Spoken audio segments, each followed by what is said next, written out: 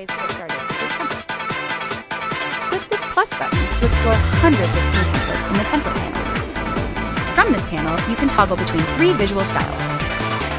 Business-friendly, whiteboard animation, and contemporary. Vyond professional subscribers also have access to Common.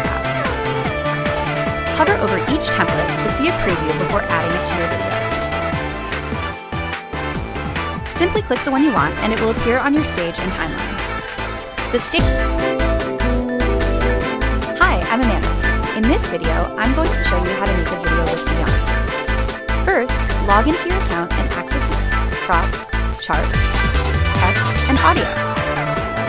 Here, you'll also see the upload panel, where you can import and access your personal library of images, audio, and fonts.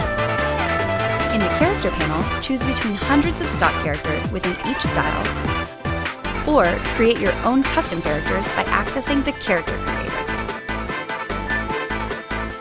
In the Props panel, search through thousands of static and animated assets across each style.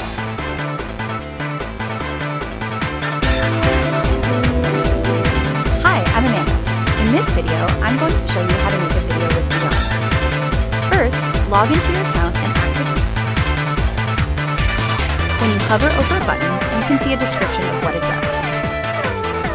asset properties will change here depending on what type of asset you have selected on the stage. For example, every prop inside of the contemporary style is color changeable. You can change their asset properties here.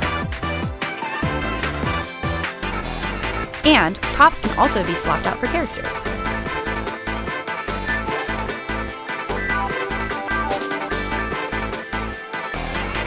Preview character actions by clicking the play button at the bottom corner of any action.